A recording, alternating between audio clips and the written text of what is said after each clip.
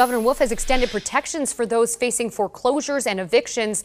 They will now run until August 31st. The executive order protects homeowners and renters who are not already receiving assistance from the Pennsylvania Housing Finance Agency or the federal government. Lenders and property owners who receive the funds agree not to pursue foreclosure or eviction actions as a condition of the program.